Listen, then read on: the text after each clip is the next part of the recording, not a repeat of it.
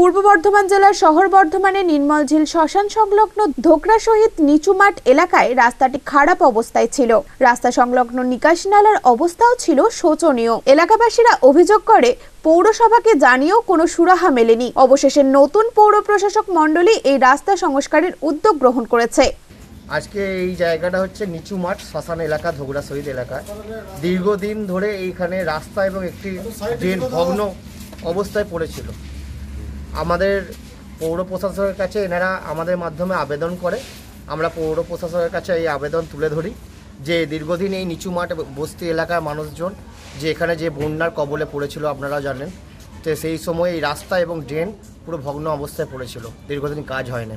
আমরা সেটা পৌর প্রশাসকের মাধ্যমে আমরা এই রাস্তা এবং ড্রেনটি উদ্ধার মানে কাজ করার অনুমতি পাই এবং আজকে সেই কাজ হচ্ছে। সেই জন্য আমরা ধন্যবাদ জানাই মাননীয় পৌর প্রশাসক মণ্ডলীকে। কেমন কি বাজেট থাকছে এই বাজেট দু লক্ষ থেকে তিন লক্ষের কাছাকাছি আছে। কি মনে হচ্ছে আরও যদি বাড়ে সেটা কি পাস হবে? দেখুন, এই মানুষের দীর্ঘদিন ধরে যে মিউনিসিপ্যালিটির কাজ বন্ধ ছিল, সেখান থেকে একটা মানুষ রিলিফ পাচ্ছে। এটা সর্ব আমরা এলাকার মানুষ এবং আমরা পার্টির ছেলেরা, আমরা খুশি। স্থানীয় তৃণমূল নেতৃত্ব জানান, আগের পৌর বোর্ডকেও বিষয়টি জানানো হলেও তারা কোনো রকম কোনো গুরুত্ব দেননি। নতুন পৌর প্রশাসক মণ্ডলীকে বিষয়টি জানানোর পর তারা গুরুত্ব সহকারে রাস্তা ও নিকাশি নালার সংস্কারের উদ্যোগ নিয়েছে। কাজ শুরু হওয়ায় খুশি এলাকাবাসী। দীর্ঘদিন যাবৎ এখানে ড্রেন ছিল না।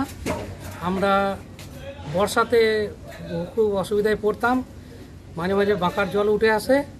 তো আমরা আমাদের স্থানীয় নেতৃত্বকে বলেছিলাম বারংবার যে, দাদারা, আপনারা আমাদের একটা ব্যবস্থা করে দিন।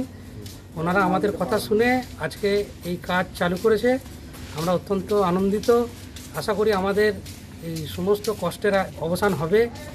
দীর্ঘদিনের যন্ত্রণা থেকে আমরা মুক্তি পাবো জল কাদার শুধু কি রাস্তা হচ্ছে না ড্রেনের সাথে হচ্ছে? রাস্তা রাস্তা তার সাথে ড্রেন রাস্তা ড্রেন দুটোই একসাথে হচ্ছে। কত ভালো লাগছে এতদিন পর আবার নতুন ভীষণ খুশি আমরা এলাকাবাসী।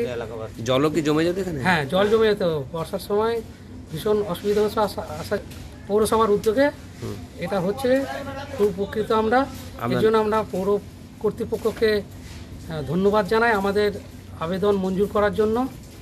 বর্ধমান থেকে পিন্টু প্যাটেলের রিপোর্ট আনন্দ বার্তা।